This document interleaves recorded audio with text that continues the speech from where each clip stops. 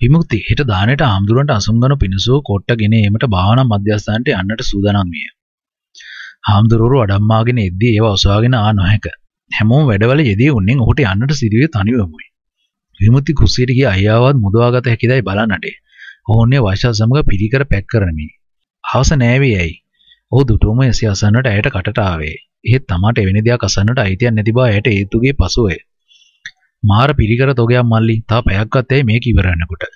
පන්සල් යන්නට වෙන්නේ තනිවමනි. ඔහු ළඟට එද්දී ඔහු හිස ගැල්ලූ ෂැම්පූ සුවඳ අපූර්වට ඇය විඳගත්තාය. මේ දක්කකෝ. කුස්සියේ හිටියා දැහත් වට්ටි හදනවා. ඇයි? අයියා මේ දක්ක ඕක කරන්න අඩගා ගනින්. යම් මායක පන්සලට සක්විති සිනාසුනේ. ඔබ කළොත් ඔහොම වැඩක්. මගේ හොඳ හෙල්ප. අයියගේ හෙල්ප කුස්සියේ. මේ මගේ හෙල්ප යන්. යන්න නංගි මම මේ ටික කරන්නම්.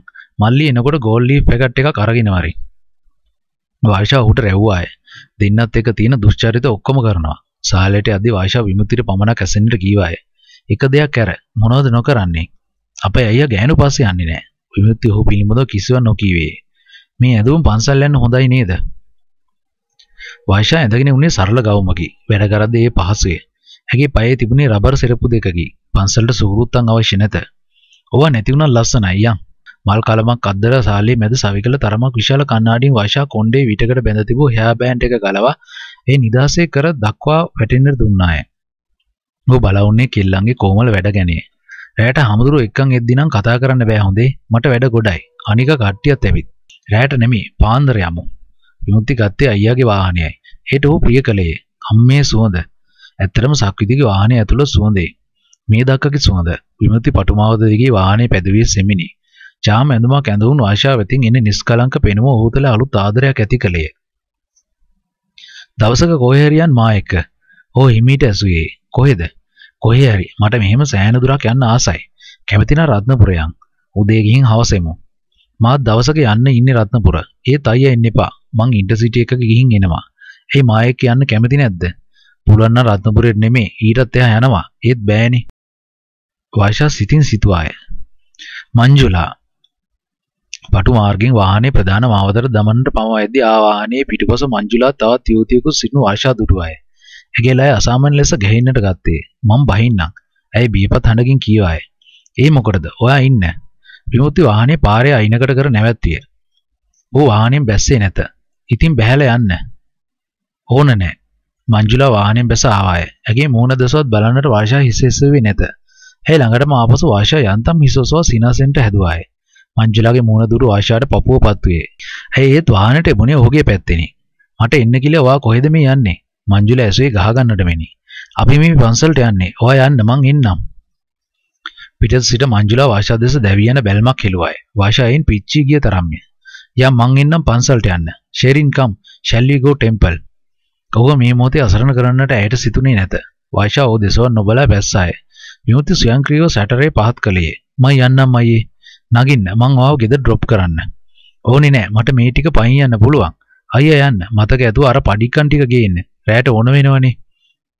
ඒ දොර ළඟේ සිටියේදී මංජුලා වේගයෙන් පැමිණ ඉදිරිපස දොර ඇරියාය. වයිෂා පසුපසට ඔයේ වැටෙන්නට ගොස් අමාරුවෙන් වාරු වීයේ. කමින් ෂෙරින් මංජුලාව අනත් ඒ වාහනේ පසුපසින්ම ගියේ. වයිෂා උන් තැනම සෑහෙන වෙලාවක් වුණාය. ඇයි හැරෙද්දී සෑහෙන කඳුළු ප්‍රමාණයක් ඒ ඇස්සල විය. යන්තම් අඳුර බේරියා සැඳෑයි වාෂා පටුමාවත් දිගියාවේ තනිවමයි. දිනක මේ සංසාර මග යන්නත් වෙන්නේ මෙලෙසම තනිවම මෙයයි බින්දෙන ඇවිල්ලෙන හිතින් වාෂා සිතුවාය. ඔහු තමා දෙස බලද්දී ඕහා එකමග යද්දී ඔහුගේ කාමරයේදී හදවත දැනෙන මන්මත් බව අසිරිමත් බව මායාවකයි වාෂාට සිතුනි. ඔහු බරපතල ලෙස අන්සන්තක වී අවසානයේ ජීවිතෙන් බොහෝ දුරු ආදරණීය වත්කමක් තමාගේ යයි සිතාගෙන රහසින්ම සතුරීම සතුරකි. ඔහු බලාගෙනම සිටිද්දී හදවත කරගියාගත හැකි දෙයක් නොමැතිව අසරණ වන බව සැබෑය. විමුක්තිගේ පපුවෙම ඇලෙන්නට ඔහුගේ බැල්මේ දෙවැටෙන්නට ඔහුගේ සුවඳ ඇති ඉමක ජීවත් වෙන්නට ලෝභකමින් පැනලා අසරණ ගැහැණු හදවත පවුයයි ඇයට සිතේ. මේ ජීවිතයේ දුටු පරිසමාප්තම පිරිමියා ඉදිරිපිට ගැහැණියක් දන් නොදෙන දෙයක් නැත. පපුව කියනා කියනා හැගීම් පස්සේ ගොස් අවසානට වෙන්නේ කෑලියෝ සොයාගත නොහැකි ලෙස කුඩු වීමේ. තමා මේ ලෝකේ අනාථ කෙල්ලෙක්ගේ අසරණ කෙල්ලෙක්ගේ වාෂා තවත් වරක් තම පපුවට කීවාය. විශේෂයෙන් ඔහුගේ දිනෙත් අද්දරදී ඇයට ඒ බව අමතක වෙයි.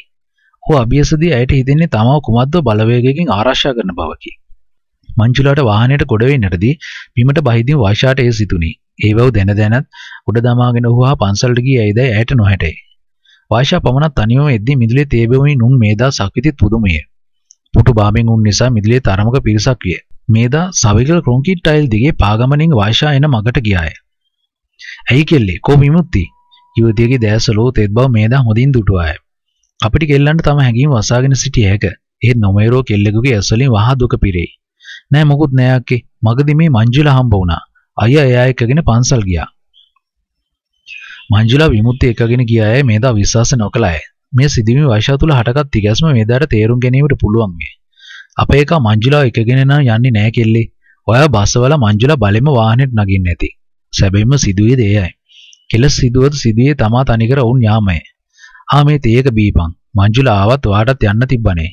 මේදා ඈතව මිල්ක්මේඩ් කිරිතේ කෝප්පෙන් භාගයක් ඈට දී කීවාය.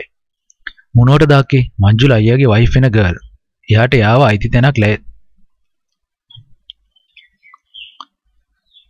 එයාට යාව අයිති තැනක් තියෙනවා. මට දුක ඒක නෙමෙයි. වාෂන් එතු බිමට හරවා ගත්තාය. මොකද්ද? අයිති නැති සීට් වල ගියාම මගදී බැහැලා තනියම එන්න වෙනවා. නොයාම ඉන්න තිබ්බේ. මේ ආදරේ නිසා මතුවන ආත්මානුකම්පාව මිස කන් කවරක්ද? යුවතියගේ හිත හොඳටම පෑරී ඇති බව පවණම් මේදා තේරුම් ගත්තාය. නංගි ඕවා ගණන් ගන්න එපා. අපේ එකා කිව්වද කියන්න ඔයාට බහින්න කියලා. සක්විති ඇසුවේ. අනේ නෑ අයියා කිව්වා බහින්න එපා කියලා. ඒත් ඒ මගේ තැනක් නෙමෙයිනේ අයියේ. මේ ආපන් කෙල්ලේ කෙනෙක්ගේ කාරකේ වම් පැත්තේ හිටියට පොහොරුවේ වම් පැත්තේ හිටියට එතන බැඳීමක් නැහැ. අඩුම ගානේ ඇඳේ එහා පැත්තේ හිටියත් ඒත් වැඩක් නැහැ. එයාගේ පපුවේ ඉන්නේ කවුද කියලායි වැදගත් වෙන්නේ. අයියත් හරි වැරදීනේ අක්කේ. මංජිලාව ඇයි එයා ළඟින් තියාගන්න නැත්තේ? එයාව එකගෙන් ගමන් බිමන් යන්නේ නැත්තේ. ඒ ළමයාත් අන්තිමට බොරුවට එක එක ඒවා හිතනවා. මේ කතා කරන්නේ වෛශාගේ හදවත නොවන බව මේ දාදානේ. කරන්නට දෙයක් නැත. හැමෝම තම හදවත සනසාගත යුතුය. මල්ලි ගැන එහෙම හිතන්න එපා අවශ්‍ය. ඌ පව් අහිංසකයා. සක්විත් දැන හැකීමෙන් තම මල්නුවන් ගැන එසේ කියා ගෙතුරට ගියේ. යකඩ ටෙන්ට් එක යට තැබූ පිටු සිට ගන්නක් දෙස හිස් දැසින් බලවුණු ආශා හීල්ලුවාය. ආයෙත් රදපුරයට ගියා නම් හොඳයි කියලා හිතනවා අක්කේ. අපරාධි මං හිතන්ගුනේ තව ගර්ල්ස්ලා දෙතුන් දෙන්නෙකුත් ගෙදර නවත්තගෙන ওই පොඩියට ඇඳුම් ටිකක්වත් මහන්න. හදිස්සියේ ගලා කඳුලක් වයිෂාගේ netin ගල් මෝස්තරේ ටයිල් මතට වැටිනේ. තව මොහොතකින් තමාට එන්නා බව දන්නා නිසාම වයිෂා දුවගෙන දුවගෙන තම කාමරයට ගොස් මොහොතකට ඇඳට වැටුණාය. මේ තරම් අනන්නට තැවෙන්නට දෙයක් නොවූ බවද ඇයද දනී. ඒත් පුංචි වූ හිතේ රිදීමකදී විඳි දුක් සංසාරයේම සීවී ඇගේ පපුව හිරවේ. නංගී මේදා කාමරෙටිත් වර්ෂාගේ දෙපා පිරිමැද්දේ ආදරෙනි. ගෑනුන්ට අඩන්නට කාරණාවක් හේතුවක් අවශ්‍ය නොවන බව මේ දදනි. ඒවා ගැන හාරහාර ඇසීමක්ද පළක් නැත. ඔබ තාම තැල්ල පොඩියල නෑ. ඒකයි උඹට එහෙම ඇඬෙන්නේ. ටිකක් හිත හයියට තියාගනින් කෙල්ලි. මට මගේම ජීවිතයක් හදාගන්න උදව් කරන්න අක්කේ. ඔයාටයි සක්විති අයියටයි පින්. අපි පස්සේ කතා කරමු. යන් අපි. අර ගෑණි තනියම කුස්සියේ වැඩ. සියල්ල අමතක කර පිරිතට සූදානම් විය යුතුයයි වාෂා සිතා ගත්තාය. ඒ නාන කාමරයට ගොස් මූණ සෝදාගෙන පවුඩර් බිඳක් ගල්වා ගත්තාය. පුතේ අර කෑම දාන පැත්ත ටිකක් බලන්න හොඳේ. තේ ටික පුළුවන් නම් ඔය දෙන්නම හදන්න. සුරම්යා කිව්වේ ටයිම් පීස් ඔරලෝසුවක් ගෙනවිත් පිරිත් මණ්ඩපේ මැදුව කනප්පුව මත තබමිනි. අපේ කිල්ලගේ තේ රහයි අම්මේ මේදා වාෂාට සහතිකයක් දුන්නාය. ඒක නම් ඇත්ත. නිස්කැපේ එකක් හදනවා හවසට හරි රහයි. මං කිව්වේ මේදා මේ කිල්ල බැඳලා ගිය දවසට මට තමයි පාඩු. වාෂා යටසින් මැදිදා දෙස බැලුවාය. මම බඳින්නේ නැහැ කිව්වම නැන්ද විශ්වාස කරන්නේ නැහනේ. අනේ එහෙම ඔයාව තනි කරනවද මැනික? බෙදලා මංගාව හිටපන්. පොඩි පුතත් දැන් යනවනේ. මේදා තම නැන්දනේ දෙස බැලුවේ යමක් හිතේ හංගවාගෙන. යන්න පුතේ. කේටරින් කරන මිනිස්සු කොහොම කෑම ගෙනල්ලත් දන්නේ නැහැ. අපරාධ ওই කෑම ටික ගෙදර හදන්න තිබ්බා. මටත් හිතුණා ඔයාට කියලා තොච්චර මැරෙන්න බෑ රත්තරන්. අන්තිමට මාව ගෙනත් තියෙන්නේ වැඩකාරකමට කියලා ඔයත් හිතයි. සුරම්මයාගේ කතාවේ වාෂාගේ ලය ඇවිලිනි. ඔය බලන්න නැන්ද මං ගැන හිතන හැටි. හරි හරි මං ඔයාගෙන මොනවත් හිතන්නේ වාෂා යන දෙස බලවුන් සුරම්මයා මේදා වෙත නෙත්තෙලී දිග සුසුමක් හෙළමිනි. හරකි වගේ වැඩ කරනවා. මට එහෙම කරනකොට දුකයි. අනාතුණා කියලා කාත් කවුරුවත් නැහැ කියලා කෙල්ලව එච්චර පල්ලෙහාට දාන්න ඕන නෑනේ මේදා. ඒක එහෙම හිතන්නේ නෑ අම්මේ. අපේ ගෙදර ආවම මට වේලක් දීලා යන්නේ. මේ කෙල්ල කියන ડોක්ටර් ගාවට ගියාද? ගියා අම්මේ. හොඳයි කියලා නම් හිතෙනවා. නැන්දනීට මොනබරුක පිළිබඳව වැඩි බලාපොරොත්තු දෙන්නට මේදා පිය වූවාය. වෙලාවක මං නවගම ගිහින් පත්තිනි දේවාලට බාරකුත් එන්නම්. ඔයත් ওই ප්‍රශ්න ඔලුවට ගන්න නැතුව සතුටින් ඉන්න. එන වෙලාවක එයා එයි. මට සමා වෙන්න අම්මේ. හදිසියෙන් මේදාට ඇඬිනේ. තමා මේ පවුලේ ලොකු ලේලියයි. දෙමව්පියන්ව සීයලා ආච්චිලා කිරීම තමාගේ යුතුයකමක් ඇය සිතුවාය. ඔයාට පිස්සුද? මේවත් ප්‍රශ්නද ළමයෝ. කොහොමද මේ පිරිතින් පස්සේ මොනවා හරි වෙයි. ඔක්කොටම වඩා ඔයා හිතනවනේ. සුරම්යාගේ මේදාගේ හිස පිරිමැදේ. තම ලේලිය පිළිබඳ උපන් ආදරය සමග කැළතුණු වේදනාවක් සුරම්යාට ඇතිවිය. ඇයට ඉක්මනින්ම දරුවෙකු ලබා දෙන්නේයි නිවාඩු වෙලා ගොස් පත්තිනි දේවාලයට බාර විය යුතුයයි සුරම්යා සිතා ගත්තාය.